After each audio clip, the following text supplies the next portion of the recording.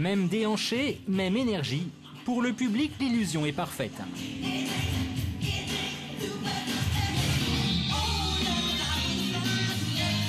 Ce Michael Jackson-là s'appelle Ben, il a 36 ans et il est français. Pour arriver à un tel résultat sur scène, Ben travaille tous les jours, chez lui, à Lyon.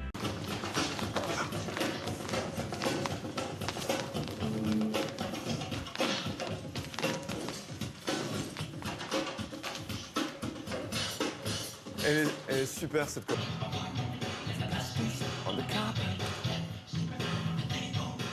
Mais aujourd'hui, tous les danseurs ne semblent pas encore au point.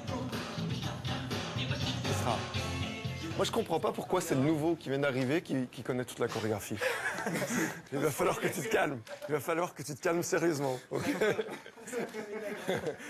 c'est pas normal ça. Ouais, ouais, ouais, ouais. C'est- Malgré les sourires, Ben est inquiet. À quelques jours du démarrage de sa tournée, il y a encore beaucoup à faire. Ok. Allez gars, ciao. Faire revivre Michael Jackson sur scène, pour lui l'enjeu est crucial. La disparition de son idole, il l'a vécu comme un drame personnel. Demain soir, le petit enfant qui rêvait de monter sur scène sera en concert devant 500 personnes dans la peau de son idole.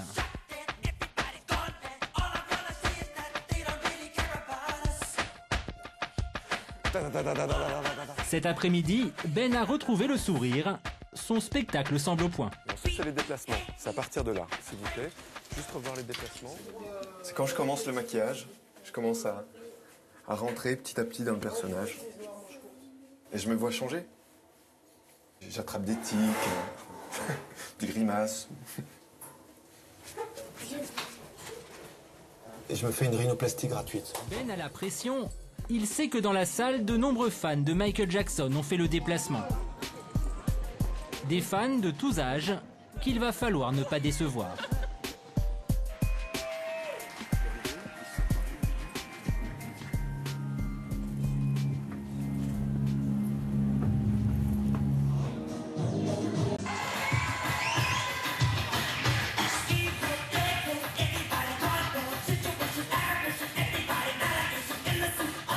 À l'autre bout de la France, Ben aussi rend hommage à son idole.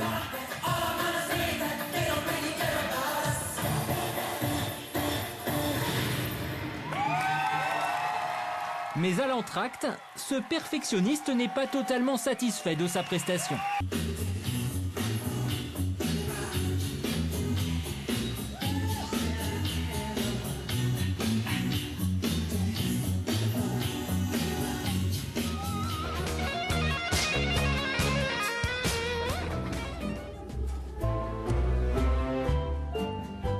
bile.